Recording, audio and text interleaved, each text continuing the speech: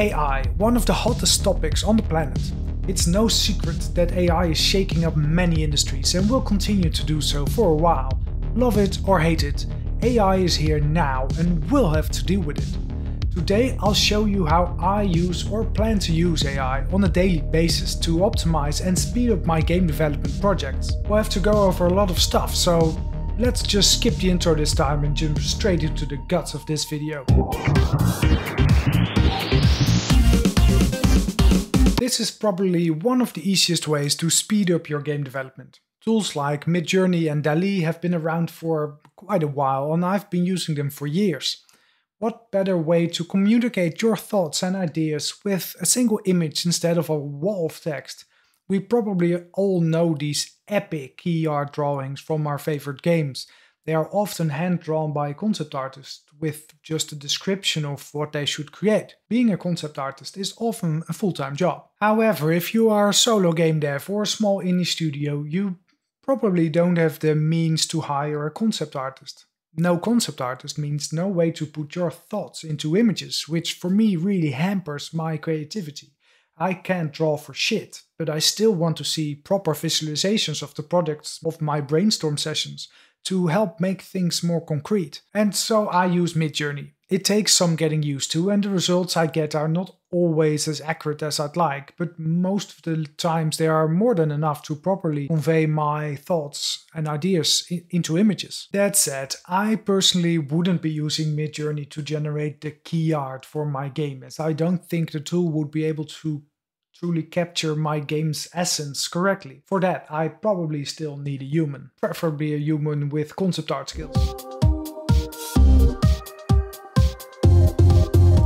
I've heard of people asking ChatGPT, better known as Chad, to create a 10 pager game concept called Cyberdam with the following requirements first person action adventure game set in the cyberpunk future featuring a female protagonist called Ivy and a secondary NPC called A, who is a rogue AI. The story is linear, divided by the main quest. The game takes place in Zeist, a Dutch city that is walled off by a massive circular dam around the whole city because of the rising ocean level. Which, by the way, I didn't do, but I think I should have done so. This would have seriously kickstarted my game design document. I think Chad is crazily good at adding all the generic stuff that is so bothersome and boring to do all the time.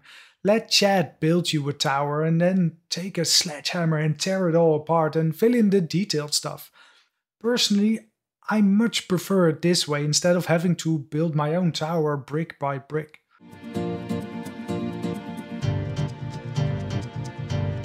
Since before my first entertainment game Woven, it has been one of my biggest dreams to get proper voice actors in my games. I think voice acting adds a whole new level of quality and epicness to indie game projects. So we fought hard to add them to our games. Woven and Sanity of Morris were both fully voiced by professional voice actors. Meet Stuffy, a well-meaning but rather clumsy creature, all alone.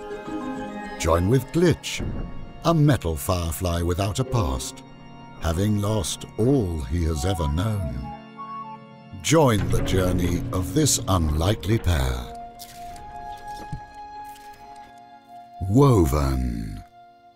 Now for City of Springs this became a bit more difficult because it's an open world game with many quests, NPCs and dialogues. We needed a lot of voice actors and it was getting too expensive for our budget.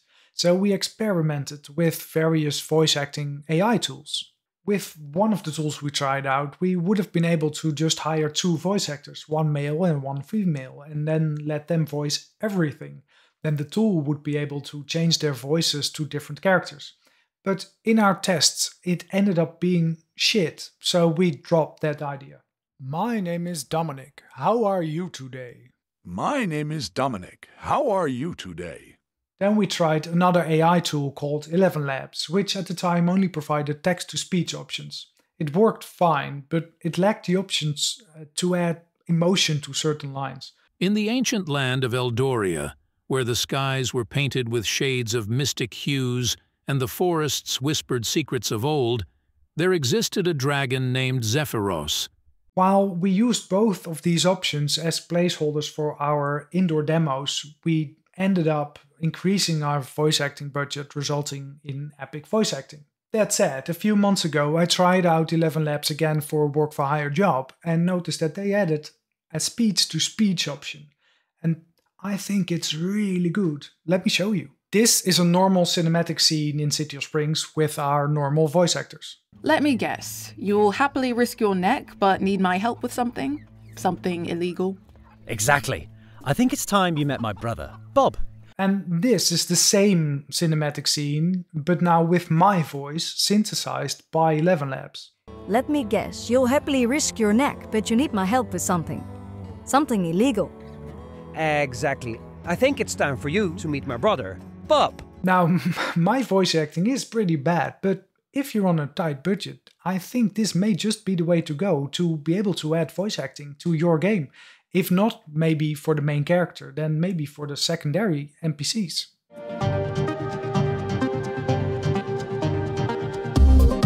While I was making this video, I noticed that ElevenLabs introduced a new feature since I last used it. As if the voice acting stuff wasn't enough, ElevenLabs now also features an infinite library of sound effects. Before today, I always roamed freesound.org for free sound effects with the correct license, but most of the time they didn't really hit the mark. In my quick tests of 11 Lab sound effects tool, I got exactly the sound effects that I was looking for with better quality and without any form of license. Now, this is a true treasure trove for a solo game dev, which I am going to exploit indefinitely.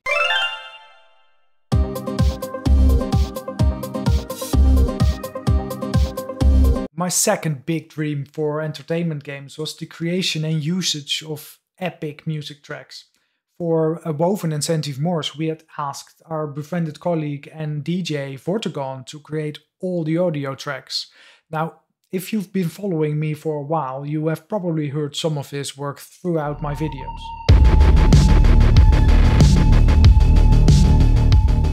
For City of Springs, I hired a musical duo who created truly epic tracks for the game. I still listen to these tracks weekly, I love them that much. Now, I have heard of the new Beatle track sung by an AI using John Lennon's voice, and it's amazing, of course. But I've tried out some tools like Beethoven AI, and I don't think there are publicly available AI tools out there to create music with. At least not one that I would feel comfortable with to put in my games.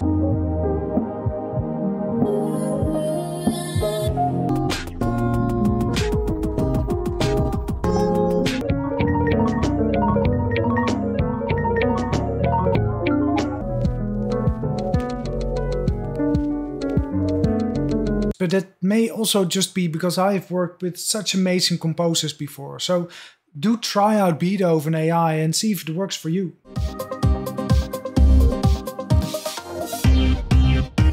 My speciality, coding. You're out of a job, man. They took our jobs! They took your jobs! They took your jam! Took your jam! Well, only if you don't roll with it. The moment I am no longer needed to code again, I'll long have switched my speciality to something else, or I will have found a way to stay essential. For now, I just use it to help out with small coding problems or ideas, because if it gets more complex, in my experience, the code won't make any sense. However, I don't doubt that in a few years it will become much more advanced, and solo game devs will get a much, much easier job. Another thing that it can help with is missing documentation. Unity is well known for its lack of proper documentation, but Chad can help fill in all the blanks. His information will not always be accurate, but missing documentation is much worse, so no harm done. Additionally, you can also use it for your own documentation. I sell a few tools on the Unity Asset Store, and they have each quite an elaborate documentation the better the documentation and comments in my code, the less support requests I get and the better the assets are reviewed. By using Chat, I transform my non native English into understandable text, and it works wonders.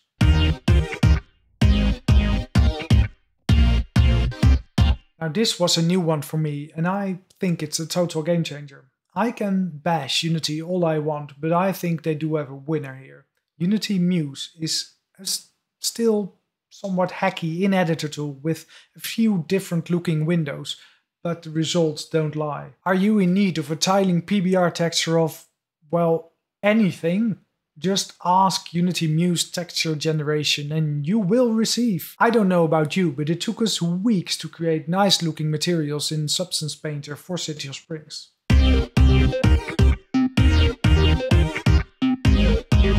Texture generation, pff, it's just one thing.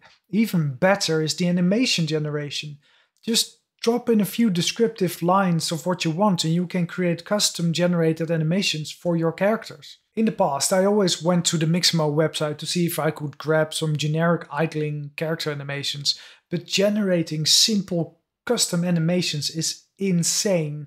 This would have saved me so much time of development for City of Springs, and it will definitely allow me much more freedom in my animations for Cyberdam. Now, rest assured, it's still Unity, so Unity Muse is still very icky, hacky in beta, and some of the generated stuff is still very, very, very bad, but some of it is instantly usable, so it's not all bad, and it's going to be very good, I think.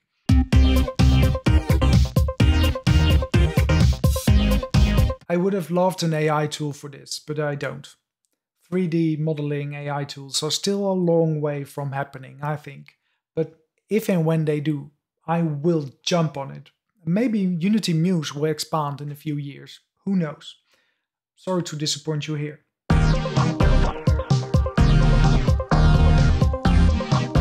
But I think the true power of all these AI tools is to be creative with them. Try to find new ways to be able to speed up your work pipeline or improve the quality of something that you suck at yourself. And don't underestimate the power of chat. Letting him rewrite your informative text into a pitch document specifically targeted towards a specific type of person can be the difference between landing and not landing a work for hire job. And also don't overestimate the AI tools either, because they will also mess up often and big time. The letter R appears two times in the word strawberry.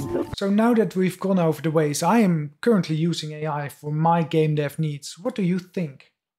Personally, I think there's still a long way to go before, well, the robots will take over.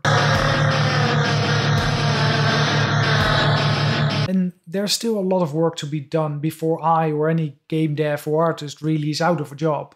For now, it seems that AI can just massively speed up production time on generic things, but the more specific or detailed you want it, the more you will run into the limits of the current technologies.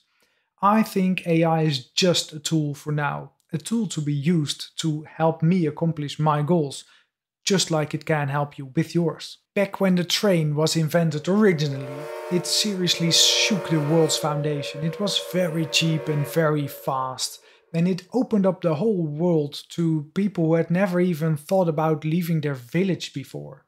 It was a very exciting time back then, and many people were really scared it would change the world too much, for the worse.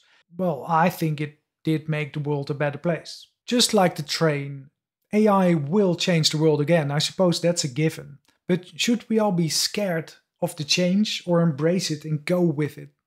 I'll leave that up to you to figure out for yourselves. I hope you liked this video once again, and if you did, it would mean a lot to me if you'd hit that like button to help me beat YouTube's algorithm. See you again next time.